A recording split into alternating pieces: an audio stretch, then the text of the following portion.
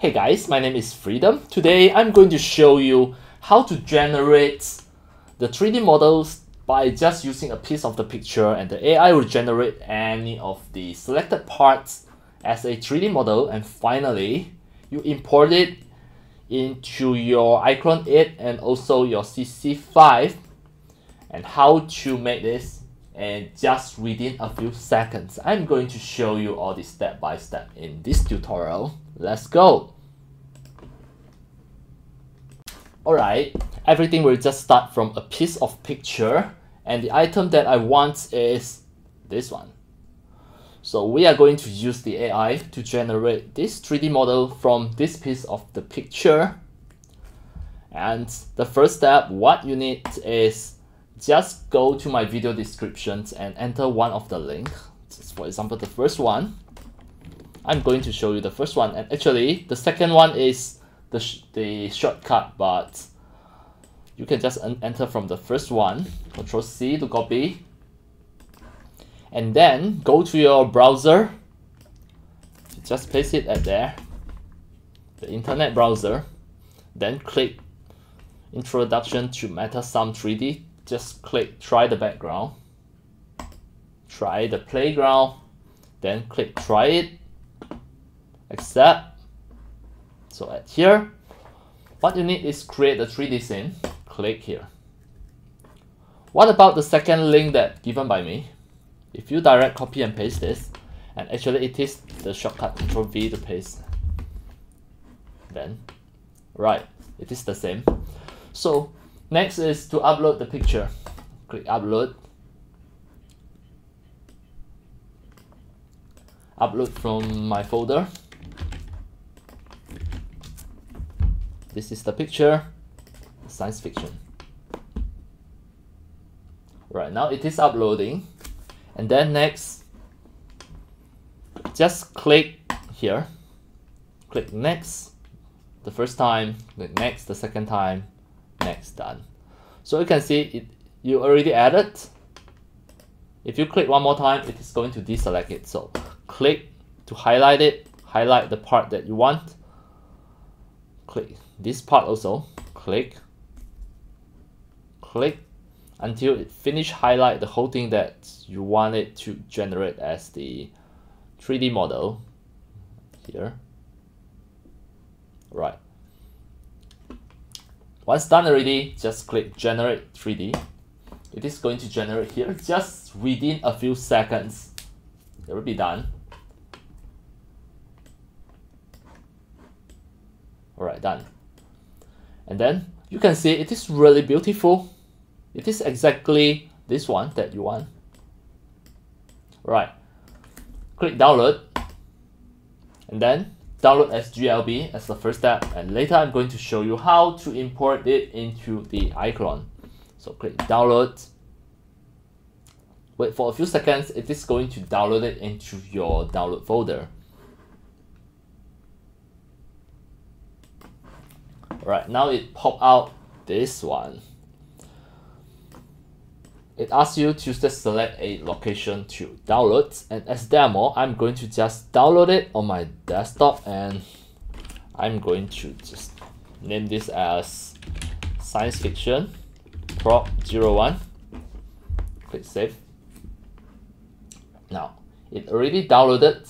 Click here to open the folder it is under my desktop if, if I double click to open it is going to open by using the 3D viewer but if you direct drop, drag and drop into your iClone, it will fail. So we need to convert it to FBX first. You can you can see if I di direct download the GLB file into here, it failed. So you need to have Blender. Blender is a free software. Just go and download it. Blender. So now I'm going to just start Blender. For today, the latest version is Blender 5 it's okay. No matter what type of the versions it is it's okay. Don't worry about the version. As long as it can it can import the glb file click the empty area just press a and press delete to delete everything clear it and then drag in the glb file into the blender. Click import now it is already inside here. Just check the texture. Done. So next we are going to export it as the FBX file. So click file. Export as FBX file. The path mode just choose copy and just highlight this. And as demo I'm going to just export it on my desktop as well. Name this as science fiction prop 01 I click export the FBX and something that I want to remind you the FBX file that you exported is without the texture and later I'm going to show you how to export the texture as well so first just go to your iClone just import the 3D model without texture first. Drag and drop into the iClone. Keep original, click convert all. You are going to just import it without texture at the first place, without texture. Alright, now, next, we are going to get the texture. From the Blender just now, you need to go to the UV editing.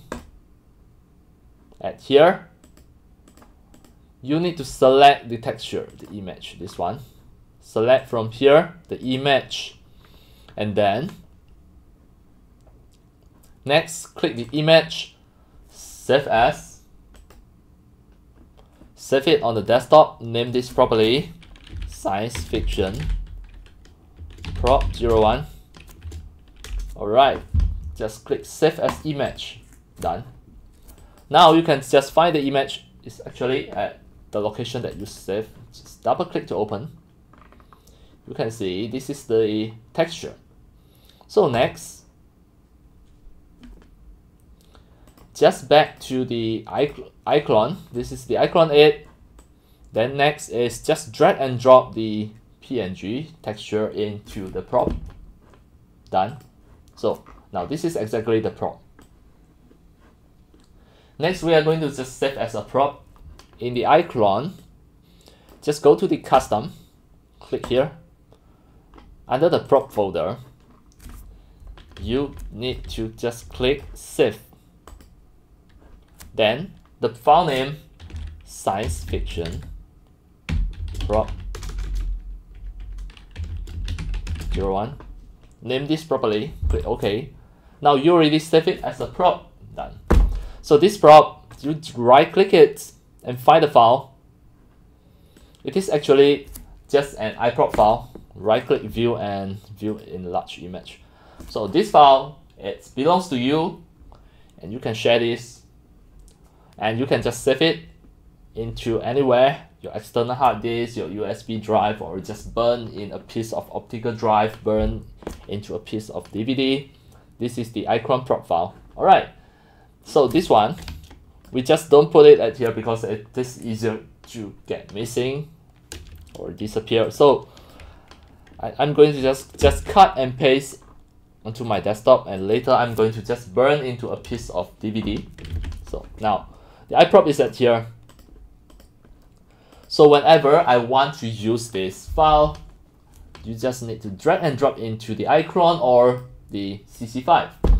So now in iClone, I'm going to just open a fresh new project and we are going to just try the file, test the file, the iProp drag and drop. You can use it anywhere. Now, done.